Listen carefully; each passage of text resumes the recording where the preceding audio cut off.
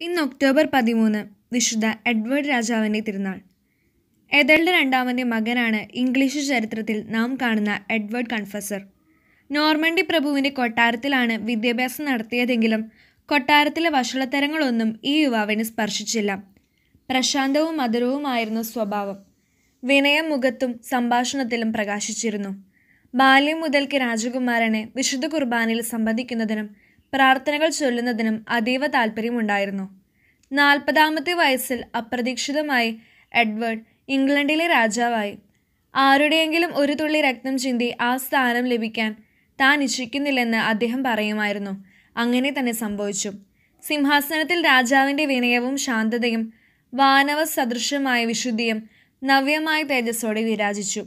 പ്രഭുക്കന്മാരെ തൃപ്തിപ്പെടുത്താൻ ഒരു പ്രഭുകുമാരിയായ ഈഡിത്തിനെ വിവാഹം കഴിച്ചു.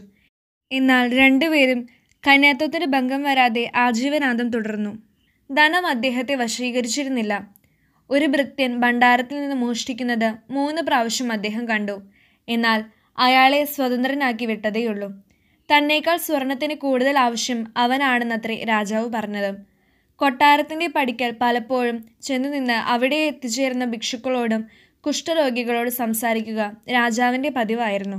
ചിലപ്പോൾ രോഗികളെ അത്ഭുതകരമായി സുഖപ്പെടുത്തുകയും ചെയ്തിരുന്നു.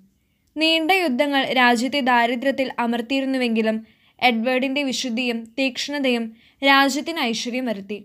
നശിച്ചു പോയിരുന്ന ദേവാലയങ്ങളെല്ലാം പുനരുദ്ധരിച്ചു.